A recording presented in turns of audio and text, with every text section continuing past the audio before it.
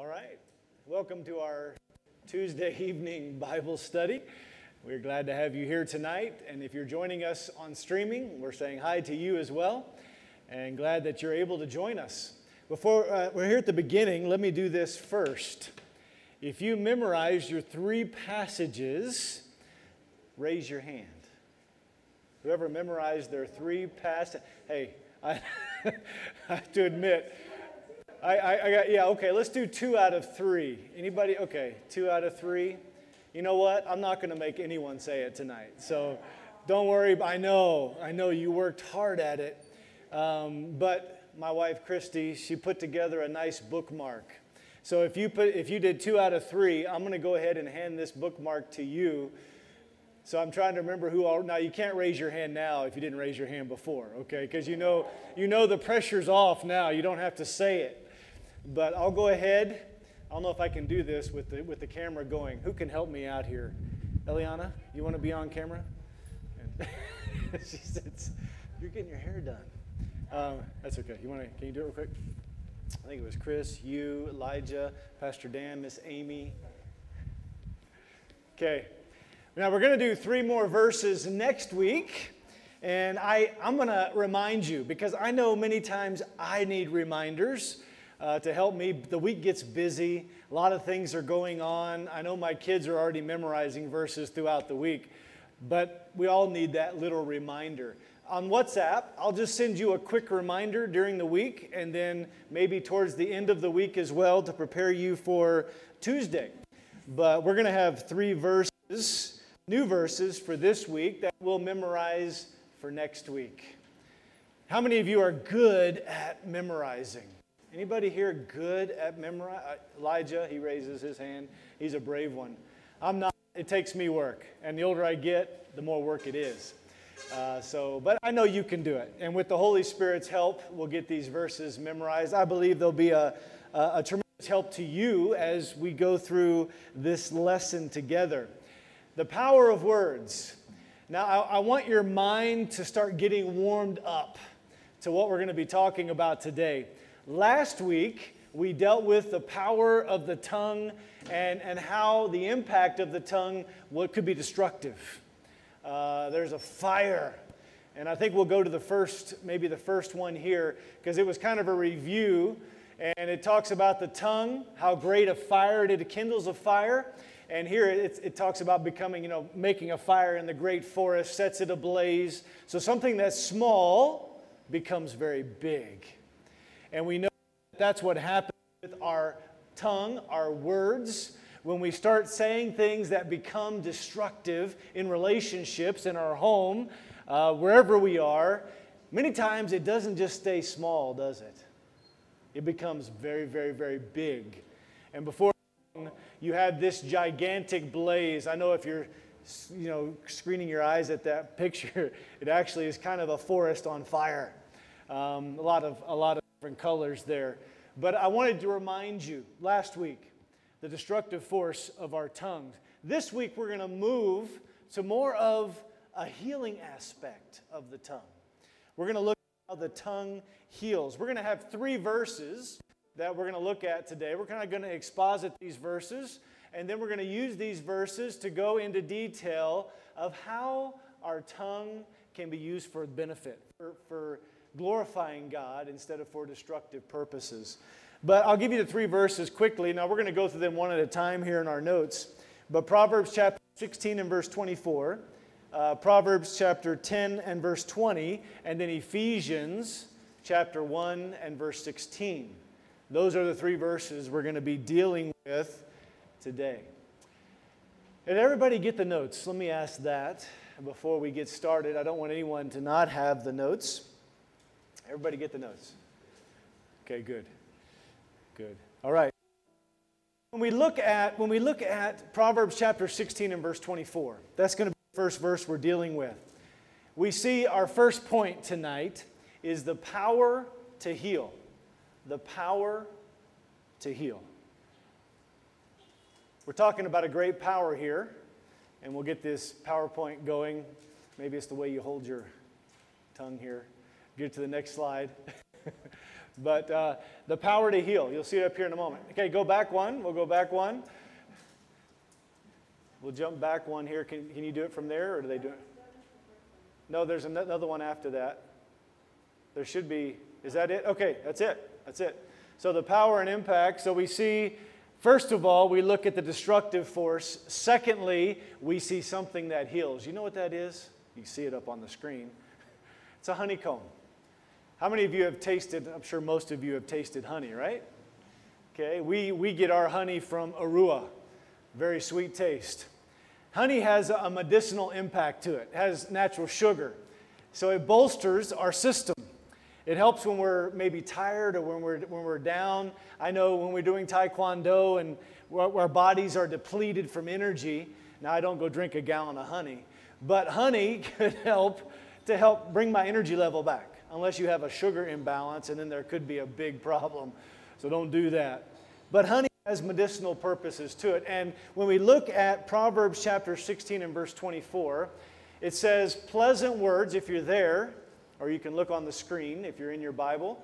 It says, Pleasant words are as an honeycomb, sweet to the soul, and health to the bones. Now, Pastor Dan has used body, soul, and spirit. We saw this in the, in the great message that he preached on Sunday, our Alive in Christ series. And as I look at the body, soul, and spirit, we see, first of all, I wanted to show you the model of man. Now, up here, you can hopefully see it better than I can see it on the back screen. But we are a triune being, tripart. We have a body, we have a soul, and we have a spirit. And we see in Proverbs 16 24, it mentions right off the bat how honey, pleasant words, are like a honeycomb, sweet to the soul. Now, what is the soul? If you look on the diagram here, the soul is the seat of the mind, the emotions, and the will. We have also the spirit, and if you've taken discipleship, you've seen this diagram already. But we have the spirit, which is dead and really dead in trespasses and sins until it's made alive in Christ. And then we have the body, all three work together. And after we're saved, we're going to show you a diagram here in the near future.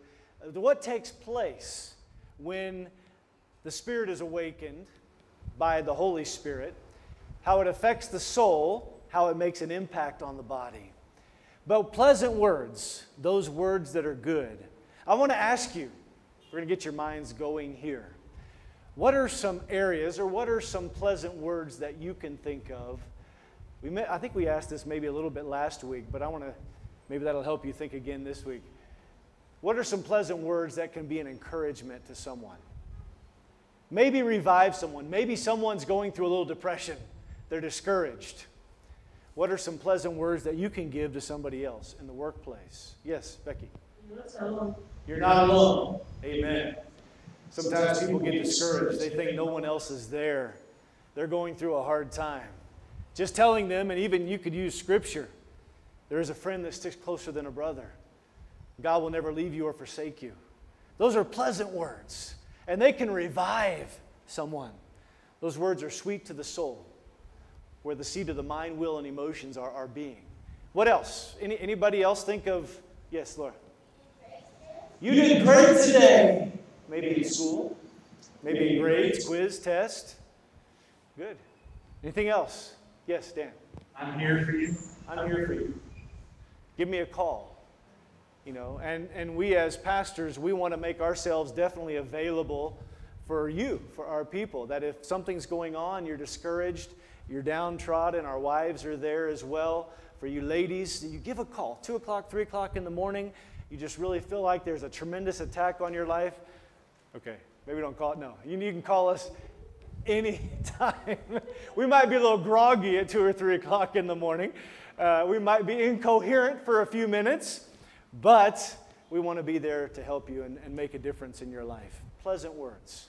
Good. Anybody else? Those are great examples of pleasant words. Okay? Anyone? Okay, so we go on. We go on to the next. Now, when you look at this diagram, you see the carnal Christian life. The carnal Christian life. And I'll look this way real quickly, but the soul is wrapped up in inferiority. This is someone who's a Christian but not walking in the Spirit, not being led by the Spirit, not being one who is giving pleasant words, because really in their soul, they're walking not in the Spirit. We see inferiority, insecurity, inadequacy, doubt, worry, fears, which leads to frustration. That's what's impacting your soul. Why is that? It's because you're not walking in the Spirit. There's where problems come in family, money, work, etc. And what's amazing is that when your spirit is that way, it affects the body, doesn't it? This has been proven through study. Is that when you're in the midst of worry and doubt and fear, this could happen. Maybe you lose a job.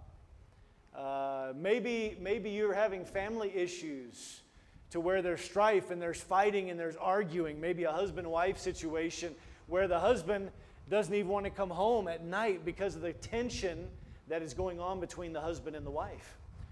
Now, what does that create in the body? We see some issues here.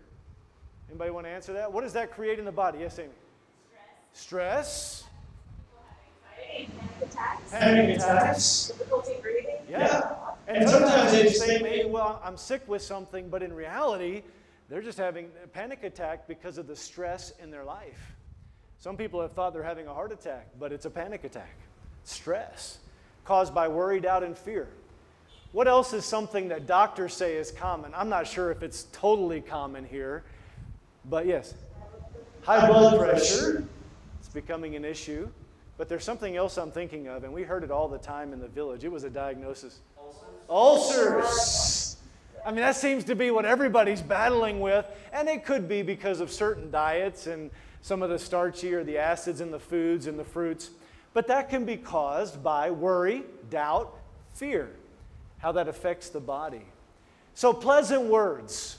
And when, your when your spirit, and we'll go on here, and I'm going to get to the, the next uh, slide that's coming up that's in the diagram. Not yet. Hold on. We're going to get to one to what does it look like when you are walking in the Spirit. But what my point is, is that when you're having pleasant words, when your life is bound in following the Spirit's leading. Pleasant words come out, but it gives sweetness to your soul. Your mind, will, and your emotions are wrapped up, which gives you, uh, gives you an attitude of patience, love. Um, following Galatians chapter 5 and the fruits of the Spirit that come out of that, we see those things taking place. But not only is it sweet to the soul, but what's the second part of Proverbs chapter 16 and verse 24 say? It's what? Health to the bones, health to the body.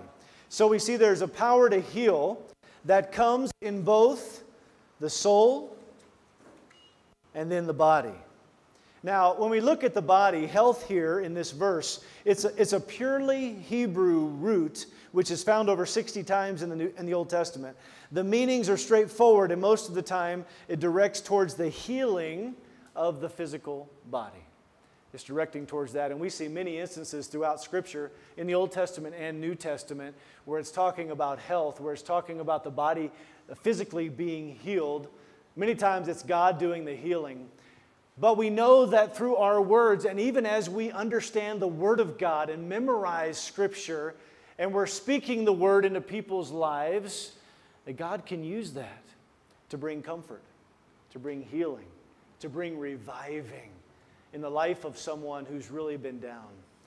You know, maybe you know of someone even today really struggling. Maybe they're depressed. You're thinking about them in your mind. What can you do? Pick up the phone, write an email, contact them, social media. Say, hey, I'm praying for you today. God has a plan and purpose for your life. He's there for you.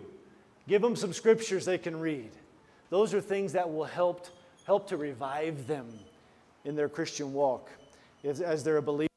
We see, secondly, let's go on to the next slide. And this is a slide where I want to show you the Christ centered life. Now, what happens when Christ, as we see the C, is in the middle?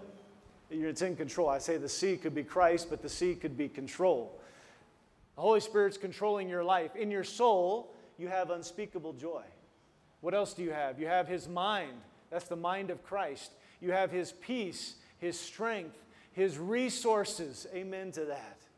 Boy, do we need the resources of Christ every day. Philippians chapter 2 and verse 5. You know that passage? Anybody know it? Philippians chapter 2 and verse 5. Look it up quickly. Philippians chapter 2 and verse 5. When you get there, somebody go ahead and read it for me. Philippians chapter 2 and verse 5. That's right. Let this mind be in you, which was also where? It's in Christ Jesus. One of my favorite verses, Galatians chapter 2, I mean, yeah, 2 and verse 20. I am crucified with Christ. Nevertheless, I live, yet not I, but it is Christ that lives within me. And goes on, the life which I now live in the flesh, I live by the faith of the Son of God who loved me who gave himself for me. So, as you're looking at this diagram, you realize Christ is the center. When you have the Spirit, you're walking in the Spirit, He's in control of your everyday life. You've allowed that to take place. You're not living carnally, you're not living in the flesh, you're not making wrong decisions according to the, the iniquity that comes through the flesh in your life. There are, there, there are ways that just help develop you to become the person God wants you to be. And that's where this joy comes from. As I'm reading biographies, I'm still going through Hudson Taylor. What's amazing to me is there were a group of people, the first group that were sent over to China. They were on this boat for several months. And as they, any of you been on a boat? Anybody here been on a boat? Okay. Now, this was a pretty good sized boat because it had to travel across the ocean. And you've been in Lake Victoria, maybe when the water's getting a little rough and you have these little waves. Maybe the waves are getting a little bigger. I know Elijah and I were in a boat with uh, some missionary friends. Elijah's back here.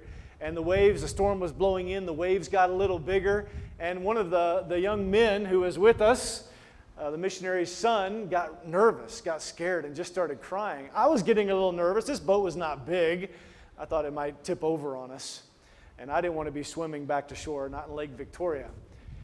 But this group of, of Chinese, not Chinese, but they were, Europe, they were Europeans going to the, the China. The first day, when they were getting acclimatized, they, they got seasick. And so for the first day, Hudson Taylor was saying that the crew, along with Hudson Taylor and his wife, because they had experience in this, were trying to keep them hydrated because they just threw up all the time, over, de- over the deck. And they were having a hard time getting used to this. But they were going for months. They finally got used to it. But they never lost the joy of Christ and what they were going to do. By the end of that journey, the story goes that there almost three quarters, if a little bit more than three quarters of the crew came to know Jesus Christ. They were coming to the meetings because they were watching this group that had given up everything to head to China, even during a rebellious time in China where many people were dying. Yet they had this unspeakable joy. How can that happen? Because the Spirit is in control. We see here there are two examples, and Watchman Nee, a theologian, calls this way of life the normal Christian life. And then the other one, Hudson Taylor, who I just mentioned, called it the exchanged life. The exchanged life. We were walking in darkness before. Now we're able to walk in the light. Before, we could not overcome fear, doubt, depression. But after we are saved, we can have a joy that the world does not understand. How is your life tonight? How is the joy that you have in Christ? Are you at peace? Or are you still struggling internally? As you, if you are, you need to look and see is this, is this flesh is this what I'm battling with that I need to give to the Lord? Part of the flesh that I'm, I'm dealing with, and I need to give that over to Christ? We need to look at these things. And as we understand this, we are able to fulfill Galatians 5 22 and 23 and have the fruits of the Spirit constantly. We see number two, not only do we have power to heal, number one, number two, we have power of the power of connection to the source of wisdom. Chapter 10 and verse 20, you can read the screen or look on in the Bible. It says, The tongue of the just is as choice silver, The heart of the wicked is little worth. The tongue of the just is choice silver. The heart of the wicked is of little worth. So, first of all, in this passage, I want you to notice the connection. The connection.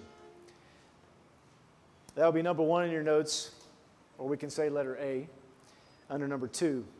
The connection. It says in the beginning of that passage, it talks about being just. Our words and how God works in us through those that are just, that is what is meaningful, powerful. It's like choice silver. So when we are just, it is having the mind of Christ, it is Christ that lives within me. That is the connection that helps us to continue living our life making a difference for Christ. Jude 22 and 23, and of some having compassion, making a difference. The only way we can make a difference in the lives of those around us is if we are relying on that connection, if you know Jesus Christ, if you're relying on that connection we have in Christ. The struggle we face every day is, is our own making. We get our eyes off of the Lord, like Peter did when he was walking on the water. He began looking at the circumstances, and I would do the same thing. I, am no different than probably the way Peter did it. It'd have been exciting for the first several seconds looking at Christ doing something miraculous. And then the next moment, I look around me, and this was a storm. I equate it to the raging storm of life. We're going through, we're having our faith is, is strengthened, we're seeing God work, something miraculous is going on, and then Satan continues to hit us in our life, and that storm, those waves, maybe, maybe losing a job, maybe money running out. There's a lot of things we can mention that would add to this storm. Our eyes get off of Jesus Christ, and what begins to take place? We begin to sink. But you know the beauty of all that? Is that the moment Peter was thinking again about Christ and said, Lord, save me, Jesus was there to lift him up out of the water and the despair and, and, the, and the struggle that he was facing, literally. Jesus will do the same thing for you. As you're struggling in your life, the storms of life around you are happening. You cry out to Christ, He reaches down. But that's the power of the connection that we have.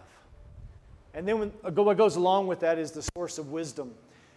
So we look at the idea of Proverbs chapter 10 and verse 20 and, and point back, can you quickly point back to that verse? Just jump back quickly here. The tongue of the just. This is the speech of those who are, I can say connected, those who are doing what is right. The speech of those who are connected are as choice silver. And you can fast forward there to the next two. Choice silver. Now, what does choice silver mean? Not only do we have the connection, but we have the quality. We have the quality. Someone who's not saved, yes, they can give pleasant words, they can give encouraging words. But those of us who are saved, we have the connection in the power of the Holy Spirit using the Word of God. That combination, as we are speaking to people, it becomes something that is claimed power to the life of someone else. The Word of God is quick and powerful and sharper than any two edged sword. It's amazing. Someone who gives themselves to Jesus Christ and lives that life and is walking in the Spirit with all of that connected together can make a tremendous, powerful impact as they speak to others and the truth that's going on in others' lives. And that's why the words, I believe, are used here choice silver. Now, I have some pictures that I added on to this, and hopefully they'll come up. But we have the refining fire. If you've studied the process of refining, whether it be silver or gold, you realize there's a tremendous heat that has to be placed on the silver to get what is called the dross out. It's the bad parts of the metal that are included when they mine it out. If you don't get the dross out, you don't have the finished final product that is pretty, that is smooth that is, that is shiny, because that dross ruins it all. But with the refining fire, it purifies. It makes something that is clean, it makes something that is pure. And that's what choice silver is it is words that are refined, words that are pure, words that are powerful.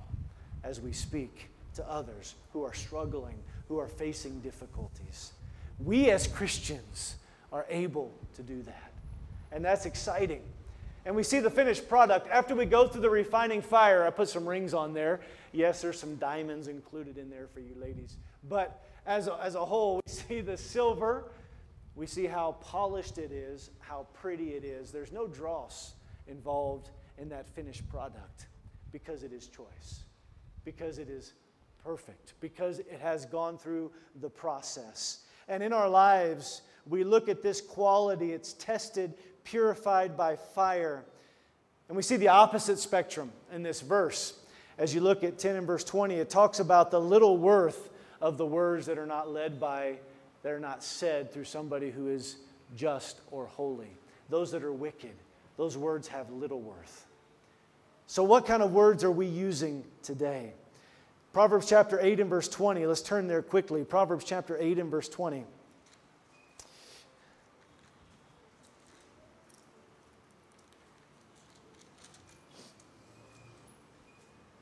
It says, me get the right one here. I'm in 9. I'm sorry, 8 and verse 10. Excuse me, 8 and verse 10. It says, Receive my instruction and not silver, and knowledge rather than choice gold.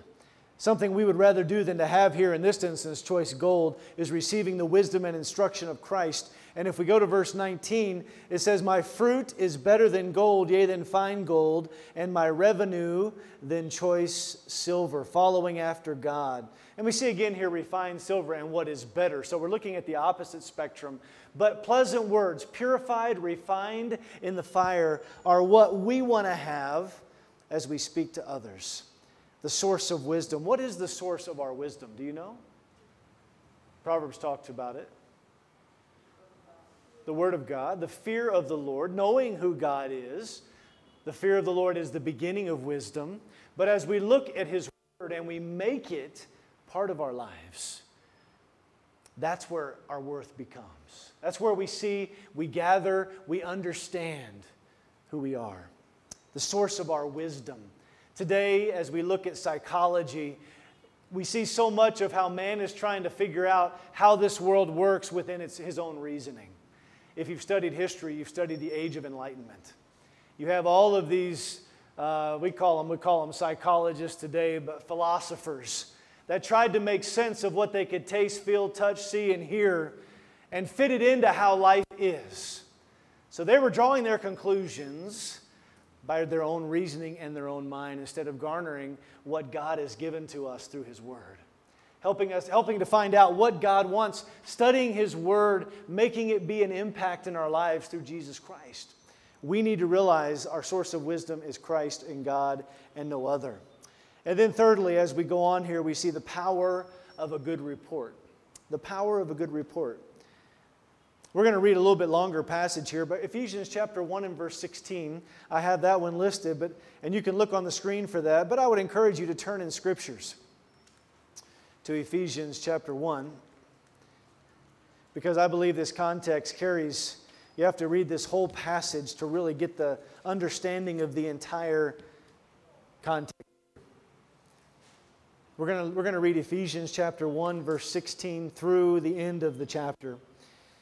So follow along in your Bible with me. If you're at home, please follow along in your Bible that you have there. It says, Not to give thanks for you, making mention of you in my prayers, that the God sorry, that the God of our Lord Jesus Christ, the Father of glory, may give unto you the spirit of wisdom and revelation in the knowledge of Him. The eyes of your understanding being enlightened, that you may know what is the hope of his calling and what the riches of the glory of his inheritance in the saints, and what is the exceeding greatness of his power to usward, who believe according to the working of his mighty power, which he wrought in Christ when he raised him from the dead and set him at his own right hand in the heavenly places, far above all principality and power and might and dominion and every name that is named, not only in this world, but also that which is to come, and hath put all things under his feet, and gave him to be the head over all things to the church, which is his body, the fullness of him that filleth all and in all. Now, as we look at our words and how they make an impact in the life of someone else, we go back to verse 16. Let's do that quickly. I'm going to bounce you back here. It says, Cease not to give thanks for you, making mention of you in my prayers. One thing that Paul did, yes, he rebuked sin. And he, when, when there was something going on within the church that was not good or right, Paul would come out and tell them, hey, you need to stop. You need to stop doing adultery. You need to stop spreading lies with one another. But one thing that Paul did and wanted to encourage the people in his churches with is that, hey, I'm praying for you. I hear what is good in your life, how you are growing in the grace of God. Encouraging others by giving a good report to those that are without is a powerful way to be able to use your words in a pleasant way to glorify God to bring healing to those that are around. Now, as we think of giving a good report, I, w- I want you to think in your mind here quickly, and I'm going to let you respond just for a few minutes, maybe a few seconds. We'll see how long it lasts. But if you're giving a good report about somebody to someone else, maybe you're talking about someone within the church, it's your friend, how would you going about do that, doing that, which would be a good report? It'd be a good testimony. What, what are something you could say? What is something, excuse me, you could say about someone that would be a good report? Can you think of anything? I start out by, as I see someone maybe within the church that has encouraged someone else, that has that gift of encouragement, and I'm talking to someone else about that person, saying, I'm not, this is not anyone we have, this is just a name. But I'm, I'm talking to my wife and I'm saying, man, John, I saw him in church and he, man, he did a great job at encouraging a brother who was really down. And he, has, he just has that gift of encouragement and God's really using him that way. That would be giving a good report of someone else, using your words in a wise way. What would be another, maybe something else you could say? Yes? Someone's a hard worker. Yeah, I, I saw them in church. They were helping to clean and they weren't even asked to do it. It's a good risk. That's a good report. That's the power of giving a good report. Or maybe someone else outside understands. Well, hold on a second. I'll get to you. Maybe someone outside understands hey, that church, Faith Baptist Church, is a church that prays. Why? Why do they know that? Because when we're watching, we're hearing about all the time the prayer list and the prayer request and, and people are talking about the WhatsApp, how when prayer requests are given, you know, they're prayed for. Everybody's encouraging one another. That's a good report. Yes? You took initiative. Yeah. You saw something that needs to be done. I was always told part of character when I was getting my training in college is that if you see, maybe you're in a building, maybe you're walking in a compound, this was in our college setting, is that if you saw trash, part of having character was that you just didn't walk by it. You had the initiative to pick it up and put it in the waste bin, waste basket. Initiative. Thank you. That was a great example. Anyone else? Something that could be a good report. Those are all good examples. Anything else? Yes. They told the truth They told the truth even in a difficult situation. Someone who has that honesty, that character, that they're going to, no matter what pressure comes on them, they're going to tell the truth. And they're known for being honest. Lawyer friend of ours was talking about one judge, one judge in Uganda, that many of the lawyers like to go to, to be in his court. Why? Because he's known for being fair. He's known for looking at the facts and letting the lawyer do the case without taking bribes, without you know, anything that's going on like that and they, they want to go, even if it's out of the jurisdiction, sometimes they can't do that because it is. But this judge had the reputation for following what the law says and being fair, hearing both sides. A good report. What are people saying about us? What are we saying about others? We have to be so careful with how we speak, what we say, making sure we're ready in our hearts. Because you know what? It goes back to our triune being. If Jesus Christ is not the center of our lives, if the Spirit is not the one leading and directing you and I, we're not ready to speak. Things that come out of our mouth are going to be damaging, they're going to be destructive, they're not going to be healing, they're not going to be sweet, they're going to be hard. And we have, I tell you, it, this takes something that we should be doing every single day, preparing ourselves to be ready and then being truthful. We must be ready first, but then it, it's, it's a truth that comes out of our heart because we are living a life that's pleasing to the Lord. Giving a good report. So, three areas tonight as we look at the tongue that has the power to heal. We see number one. We see number two, we had the power of the connection. Number two was the power of connection to the source of wisdom. This was Proverbs chapter 10 and verse 20. And then finally, number three was the power of a good report. Now, Philippians chapter 4 and verse 8, and we'll close with this verse. But Philippians chapter 4 and verse 8, let's turn there quickly. We have Ephesians. If you were in Ephesians, we have Philippians. This is a verse that I use to prepare my mind to make sure that what I'm thinking lines up with what the Holy Spirit wants me to be thinking. As I'm walking in the Spirit, I will be thinking this way. It says, Finally, my brethren, whatsoever things are true, Whatsoever things are honest, whatsoever things are just, whatsoever things are pure, whatsoever things are lovely, whatsoever things are of good report, if there be any virtue, and if there be any praise, think on these things. What should we do if somebody comes to us talking a bad report about someone else? How often does this happen? A lot. How damaging is it when we sit there and we listen? And not stopping there, maybe we take it out and use that bad report and we carry the bad report to others. It's a lot of damage. There's no healing involved in that. But as we follow Philippians chapter 4 and verse 8, we let our minds be consumed with these aspects of what the Spirit is doing in our hearts. We know that we're going to make a difference in the lives of those that are around us. We'll have a church that is pleasing to the Lord and something that is equally important. As we're pleasing to the Lord, we have a church that is known, we get a good report of being a church that loves people, that loves God, that speaks truth, and that makes sure that we guard what we say.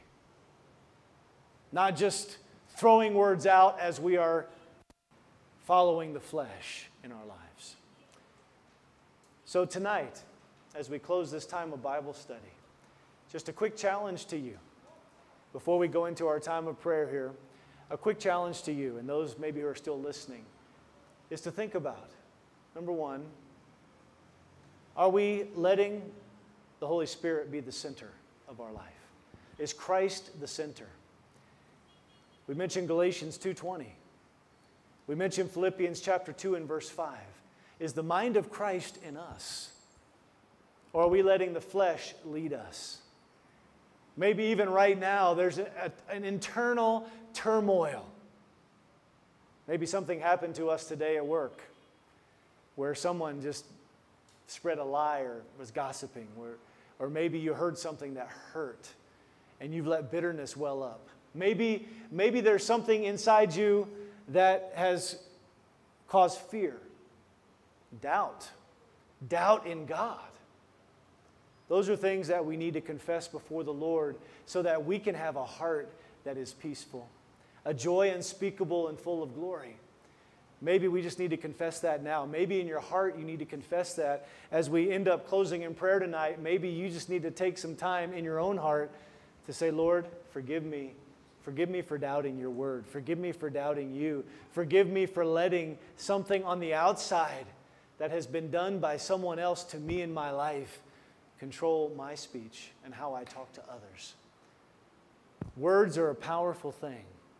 They can be used for great good as they're led by God, or they can be used for great destruction as they are led by our flesh. Let's make sure that we're being led by the Spirit so that we don't fulfill the lust of the flesh. All right. Well, we're going to go into our time of, um, of prayer. And for those of you at home, I'm glad you joined us. And you'll be getting the prayer list and you'll be able to pray. And I hope you will pray at home. Thank you for joining us tonight.